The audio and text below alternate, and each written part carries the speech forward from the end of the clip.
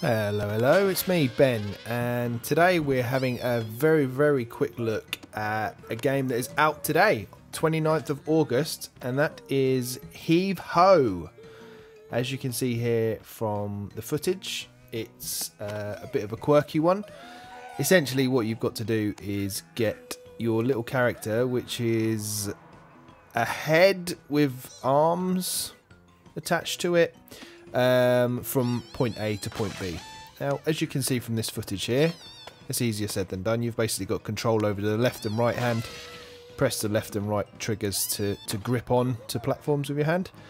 Um, now, this is... You can play it. There is a single player mode, but they kind of...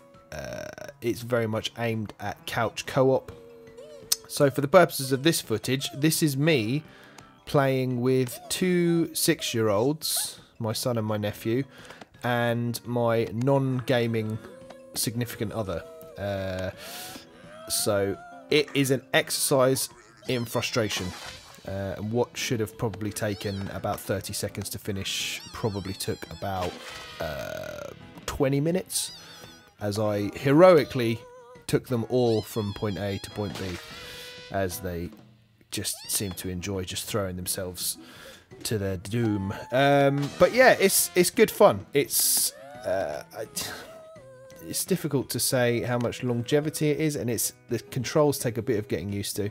Um, but we were laughing the whole time we were playing it. So if you're looking for something along the lines of a kind of something like Overcooked or Snipperclips, that kind of couch co-op experience, then Heave Ho from our good pals Devolver Digital is well worth a look. And this is out now, priced $8.99 on the eShop.